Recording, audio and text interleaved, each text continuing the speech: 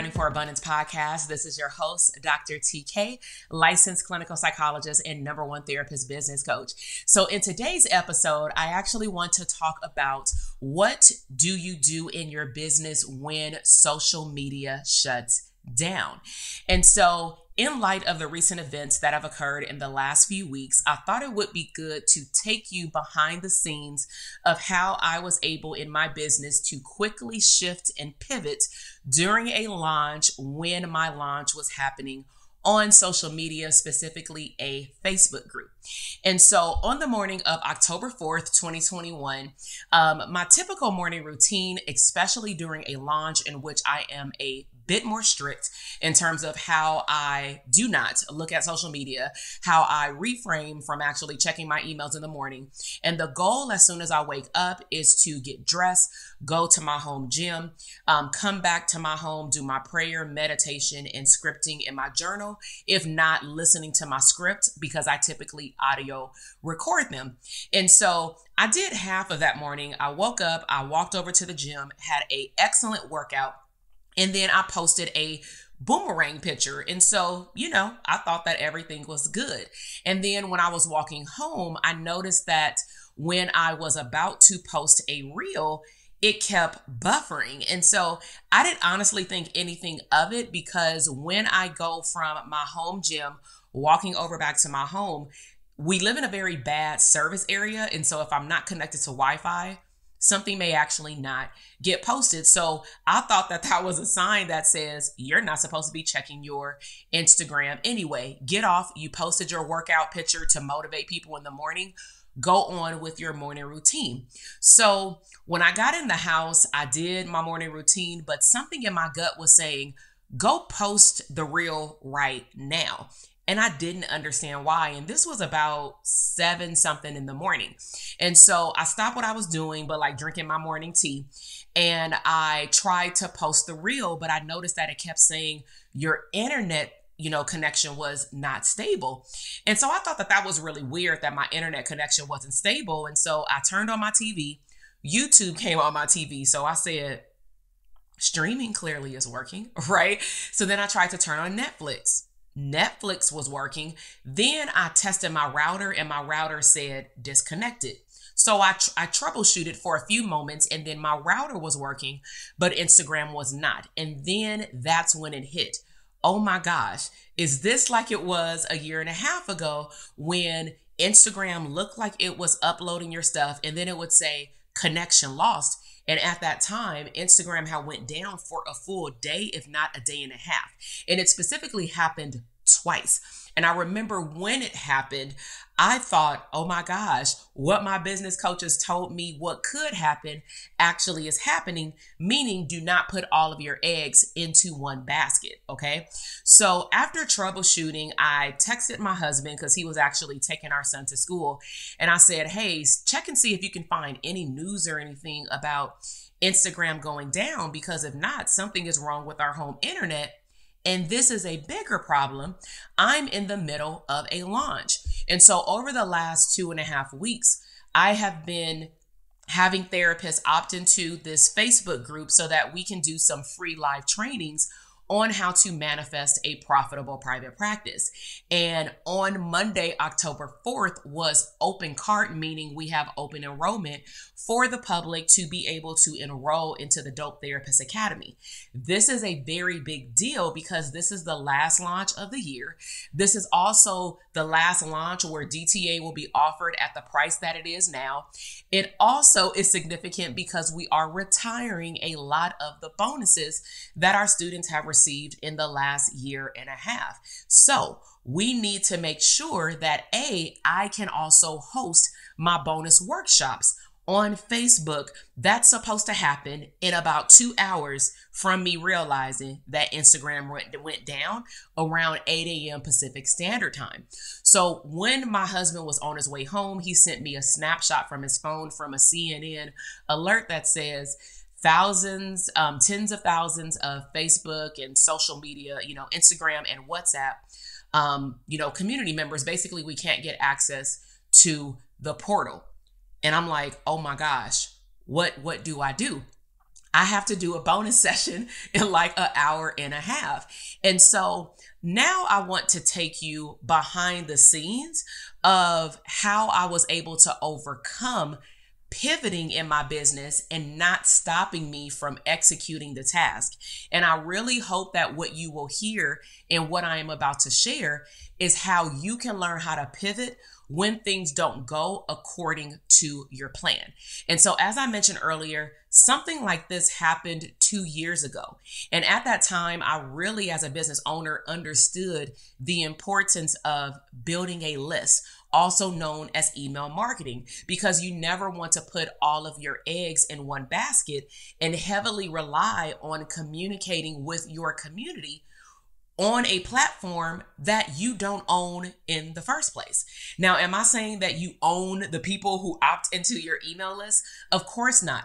But you purchase email addresses by people opting in because you give them value back. Hopefully, there's a reciprocation and an exchange. Like I give out checklists, I do free virtual parties, I do a whole lot of things that are adding value to business owners as mental health therapists. And so, um, I can also download all of those names and email addresses or any other data that I collect that they give to me in exchange for something that they want, which means that now I have ownership of those email addresses, if that makes sense. But on social media, if things freeze or you have to go live on social media and you don't have a plan B or a backup or just know how to take fast action, there's going to be a problem because you cannot pivot. Okay. So after understanding the importance of email marketing, at that time, I was already part of a coaching program. But what I did is I raised my antennas and I realized I need to go back and review some of the lessons that I had been taught from my coaches and take email marketing a lot more seriously. So if you are a therapist and you've never learned about email marketing, you definitely want to stay you know, in connection with me because in DTA, we have a graduation process where students are now ready because some of them are not, but when they are ready to learn about building a scalable foundation beyond their private practice, they can graduate into a membership program that we have in which it's monthly calls. They can cancel at any time, but we're taking them step by step of how to get your business things in place, your systems in place, so that when you do start taking action, having webinars, having program, online course launches, coaching programs, book launches, you have the systems to catch all of these scalable streams of income.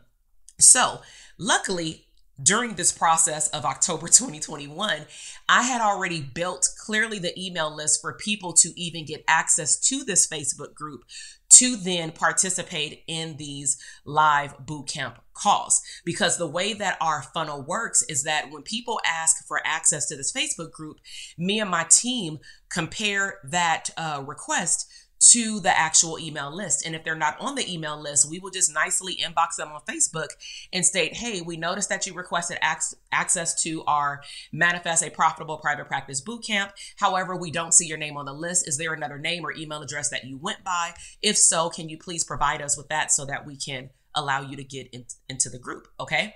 So, consistency is the name of the game. And after you get opt ins on your email list, it's vitally important that if you do have an email list already, that you nurture your audience. You just don't want to get people's email addresses and then say, okay, I got what I needed. They came to one workshop, I'm done. You know, they purchased my program, I'm done. Not everyone is going to buy something from you right away and or if not at all. But it doesn't mean at least my philosophy that you cannot nurture your audience because some people need to be warmed up to even acknowledging that they need your help okay? So with consistency um, the way that i teach my students how to build out a proper email list is to email and nurture their audience within the first seven days of getting on the email list. And of course, we teach them what to go into the email, how do you spread out your emails, and all those great things. And so, how does this relate to the launch? I realized that I had an hour and a half to pivot. So, what should I do?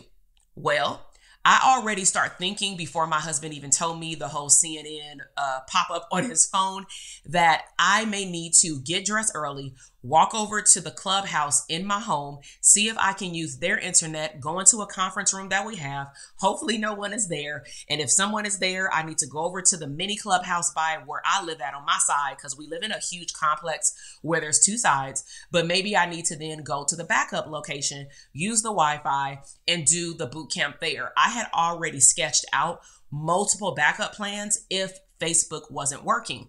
After 30 minutes of troubleshooting, I clearly saw it wasn't working, and I'm not going to wait until the time of my workshop to email people. So I did two things. I sent out a text message to those who opted into getting text reminders and daily affirmations for the bootcamp. So I sent out that reminder. I also came downstairs to my home office and I used the home studio that I luckily purchased two launches ago back in June to host these live workshops and make it more aesthetically pleasing because I can do more things on the screen, do sound effects and all those good things.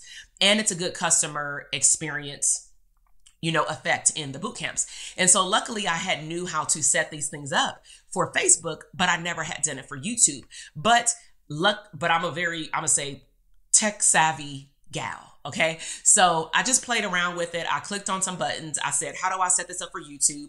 But again, I had had experience doing other types of workshops on YouTube. So I thought to myself, it couldn't be that easy, but I need to just sit down and focus for 15 minutes. Do you know that I set up the YouTube streaming platform within 15 minutes?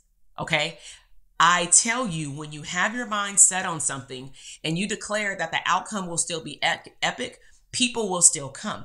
And so I set it up in 15 minutes. I told my husband to check YouTube to see if it shows premiering. I told him to watch it upstairs on the big screen to text me if there's anything that goes wrong. Also to let me know if you can hear me okay, if you can see my background okay.